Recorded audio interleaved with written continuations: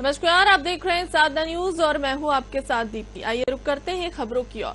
नई दिल्ली के राष्ट्रपति भवन में आयोजित प्रधानमंत्री और केंद्र मंत्रिमंडल के शपथ ग्रहण समारोह में महामहिम राष्ट्रपति श्रीमती द्रौपदी मुर्मू ने प्रधानमंत्री नरेंद्र मोदी समेत केंद्रीय मंत्री परिषद के सदस्य को मंत्री पद की शपथ दिलाई।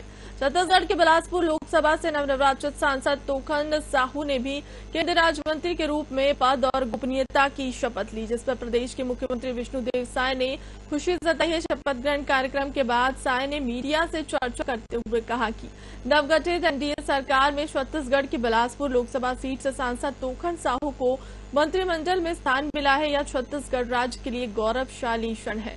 उनको केंद्रीय मंत्रिमंडल में प्रतिनिधित्व मिलना संपूर्ण प्रदेशवासियों के लिए हर्ष का विषय है। हम सब मिलकर विकसित भारत, विकसित छत्तीसगढ़ के संकल्प को पूरा करने के लिए काम करेंगे। देश प्रदेश को विकास की नई ऊंचाइयों पर ले जाएँगे। इस दौरान शपथ ग्रहण कार्यक्रम में मुख्यमंत्री विष्णुदेव साय, मंत्री नवनिर्वाचित सांसद और विधायक मौजूद रहे।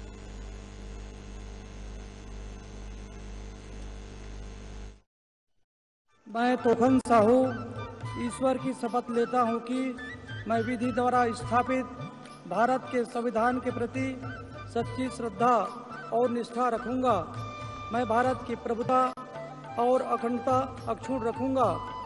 मैं संघ के राज्य मंत्री के रूप में अपने कर्तव्यों का श्रद्धापूर्वक और शुद्ध अंतःकरण से निर्वहन करूँगा तथा मैं भय या पक्षपात, अनुराग या द्वेष के बिना सभी प्रकार के लोगों के प्रति संविधान और विधि के अनुसार न्याय करूँगा।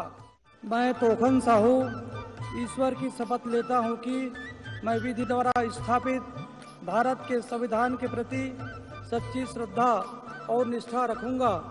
मैं भारत की प्रभुता और अखंडता अक्षुण रखूँगा।